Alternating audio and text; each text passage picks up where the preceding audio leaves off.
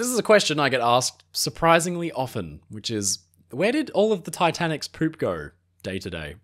The Titanic could carry over 2,400 passengers, and on the five day voyage, that's a lot of poop. In fact, it's about a little over a ton every day. Where did it all go? Nowadays, on cruise ships, there's an extensive treatment process where there are tanks that collect all the sewage water and treat it before it can be pumped overboard. But on the Titanic, all the toilets drained directly out through hundreds of holes located along the side of the ship at the waterline and straight out into the ocean, or in port while the ship was at anchor or moored in the harbour. It was a very different time.